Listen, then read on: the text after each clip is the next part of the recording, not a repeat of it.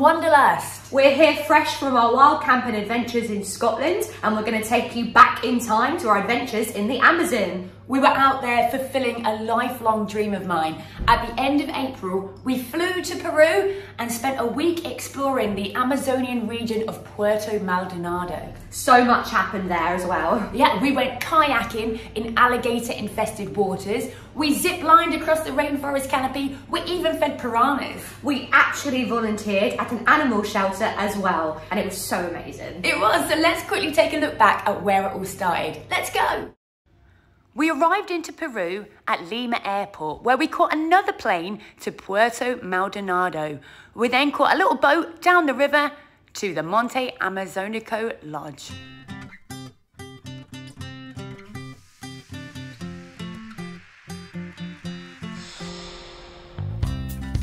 We arrived at the lodge where we would be staying for four nights and had a good look around.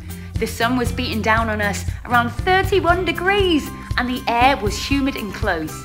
The lodge grounds were beautiful and we couldn't wait to check in and see our room.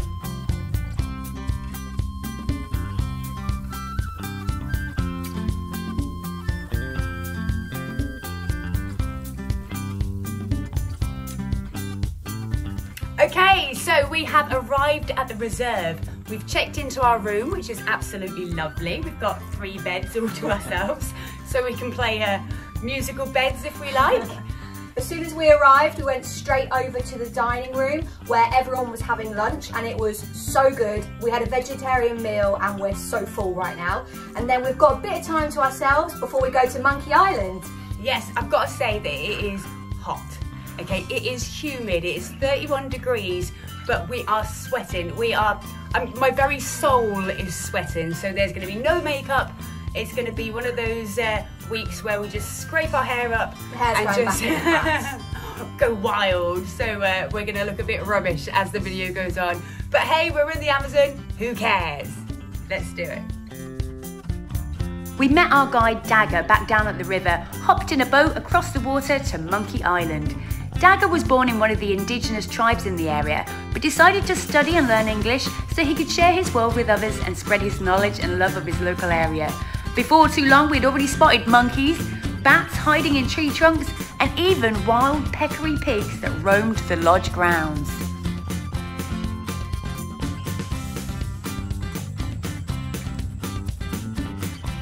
As the sun set after a wonderful dinner, we headed out on the river to see what we could spot after dark. First up, Aragog the tarantula made an appearance. Dagger was armed with a powerful torch, scanning the riverbeds for alligators and caiman. To begin with, we saw nothing but an inquisitive owl, but before too long, we spotted a white caiman, just a juvenile, but these can grow to over 8 foot long.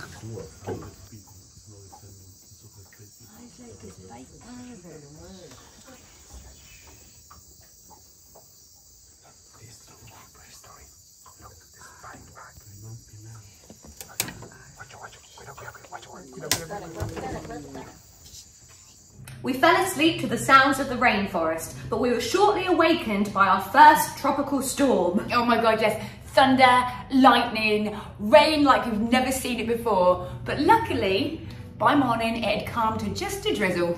Now today we were venturing much further into the rainforest. We were going to explore the Tambopata Reserve. Yes, we were heading into jaguar territory. Luckily, we were assured you don't often see them in daylight hours, thank the Lord. However, we might stumble across an anaconda and if we were lucky, some noisy howler monkeys. So let's do it.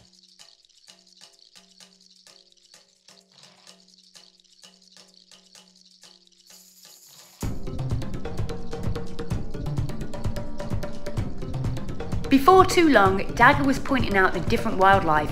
Various monkeys, the Goliath birdeater tarantula, which locals sometimes eat as a delicacy. I tried tarantula once in Cambodia, although I was very drunk and can't remember the taste that well. We continued on and decided to go off the path, deeper into the reserve for a better look.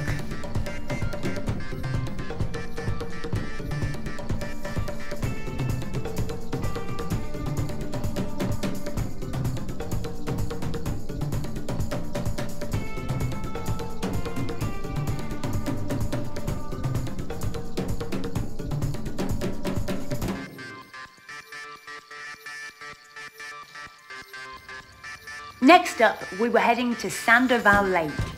It was time to paddle our way through the swamp to reach the lake and see what we could find. The first thing we spotted, more caiman, but this time the black caiman. This is the largest member of the alligator family, with adult males measuring around 13 foot in length. Luckily, we only spotted smaller juveniles in the daylight.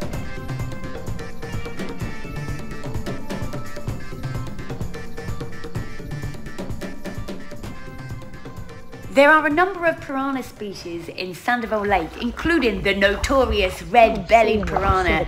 A number of indigenous people had been attacked while swimming here. There are smaller species too, which we managed to find.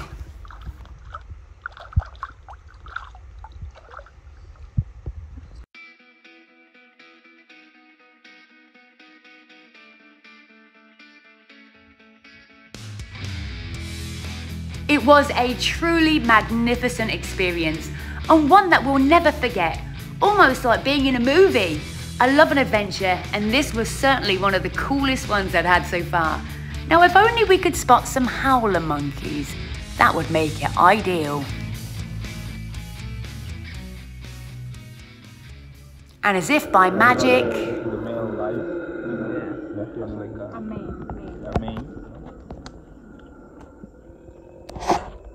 They're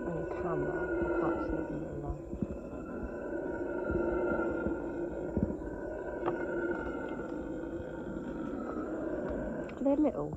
Oh, those ones. Yes, another excellent find. They were so loud. After the reserve, we headed back to an area near the lodge to do the canopy walk. Time to climb! Between 30 to 40 feet up was a rope bridge. We needed to cross it to reach another viewing platform.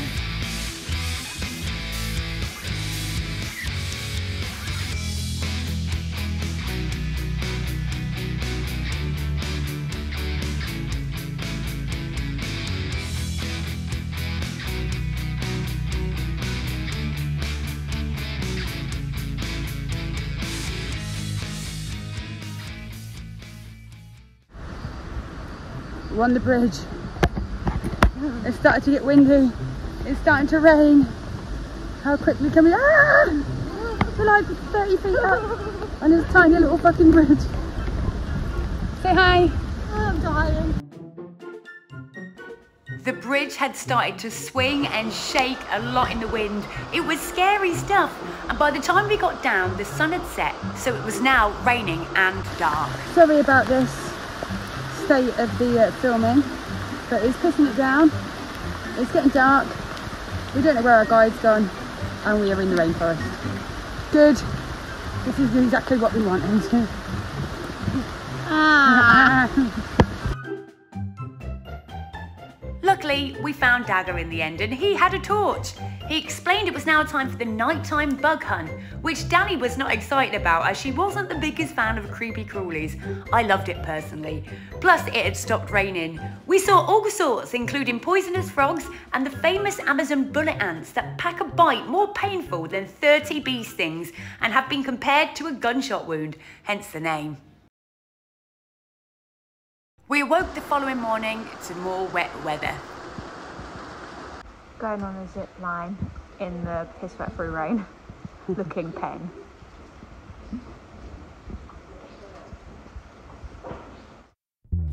Yes, I couldn't wait. I loved zip lining. I've done loads before, but this will be my first time in the Amazon. Basically, when I was 11, I got stuck on a zip wire at Kingswood Activity Centre, and I've got PTSD. so, and like, I was not really vibing getting stuck on one in the middle of the jungle when they don't have a thing to like mechanically bring you back. I was getting like images of me being stuck there forever. It's not happening. It's not happening. Sorry, Dizzy, but I got some good photos of her in videos. Also, you have to lock yourself on it.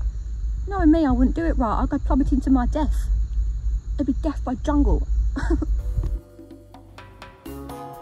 Okay, so Danny wasn't as keen, bless her, but she is scared of heights. But I was living my best life. Now, what an incredible feeling, whizzing through the rainforest canopy. After we finished, it was time to head back. Now, the storm had made the ground particularly muddy, but but we still enjoyed the walk. We were told to be extra vigilant for snakes and frogs today, as they really enjoyed the wet weather, but luckily we didn't come across any.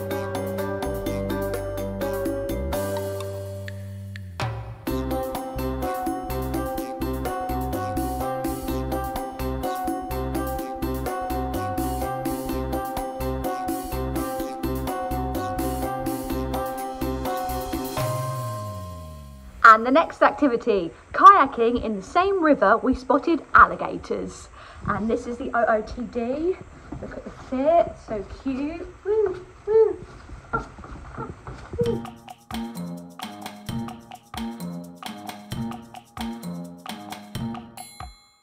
So here we are, kayaking in the Amazon. Danny is loving every single minute of it. Sorry, like I'm so close to the camera, but it's tied around my neck. Um, this is the same river that we went alligator spotting, and apparently there is also anacondas towards the banks of this river as well. So we're feeling very, very um, optimistic that we're going to survive this experience.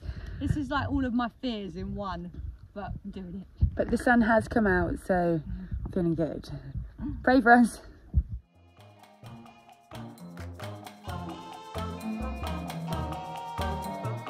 This is a very extreme close-up Danny cam right now. I've got the fear. I'm scared of falling in the water.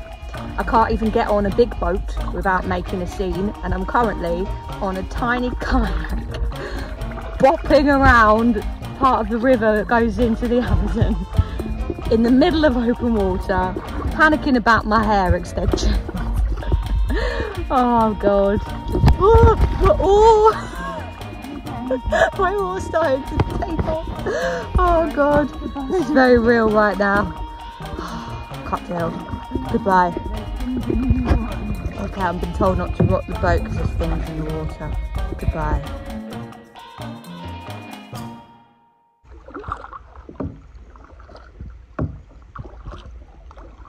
Here comes our boat because we made it home. Just over there. We're currently twizzling in the boat because why not?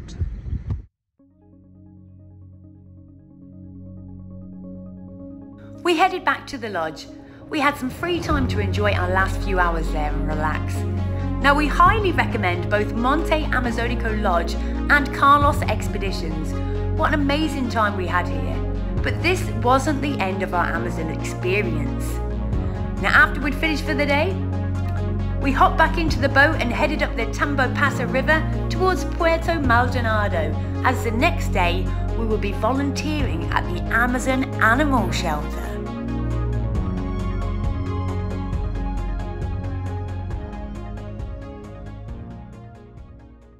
We couldn't wait to help out at the shelter as it was such an amazing cause.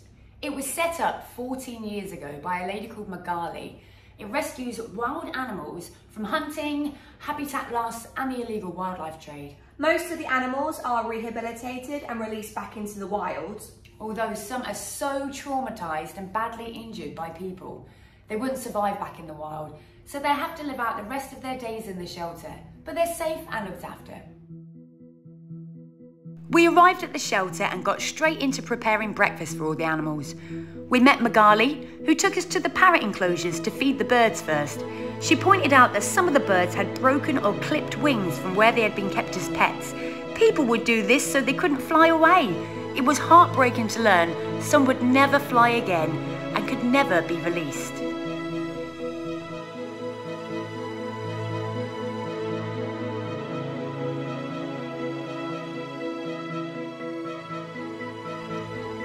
Next up, we fed the monkeys. So many different species.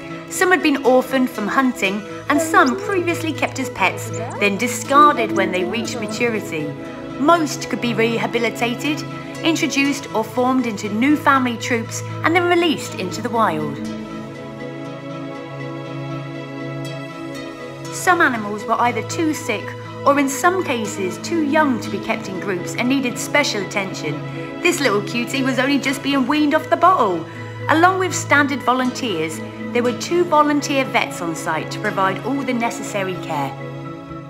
Magali relied solely on donations and volunteers to keep the place going. If you'd like more info or could spare some change to make a welcome donation, I've included the link for her website in the video description.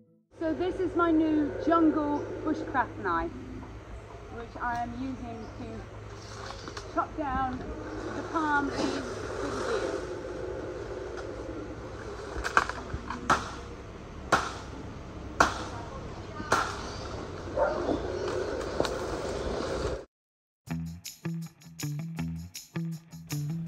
I had more luck with the machete than Danny, although it was pretty blunt.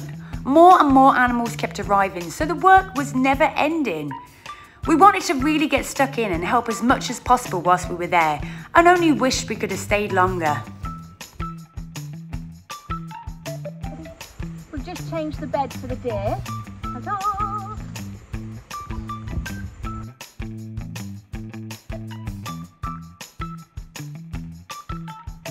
This is Danny Cam. Dizzy is currently fixing a fence to stop monkeys getting in with the parrots. These guys are very interested. They're watching her. There was so much that needed doing and not enough manpower or funds to get it done, but we tried our best. Don't forget if you do have some spare change you would like to donate, I've included the website link in the video description. Now quite a lot of repairs needed doing to Ellie the tapir's enclosure, so we set to work. But Ellie seemed fascinated and was more interested in playing.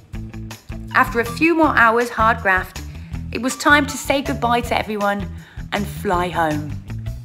Well, there we are. Thank you so much for watching our Amazon adventures. We really hope you enjoyed it and if you haven't already, make sure you catch up on our wild camping adventures in Scotland on the Rob Roy Way, which we just did a couple of weeks ago. We also asked at the end of the last video, can you guess where we are for our next long distance hiking trail? Now, a few of you guessed correctly, so well done, gold stars to you. We are in fact on the island of Corfu. We are about to hike the Corfu Trail. We're here right now. Yesterday we did a little warm up hike. It was stunning, wasn't it? It was beautiful. And that will be released on next week's video. And then next week we're gonna start the trail. So make sure you stay tuned, everybody. And don't forget, if you have enjoyed our videos so far, give them a like. And if you haven't already, subscribe to our channel. Stay safe, everyone. We'll see you next week. Bye.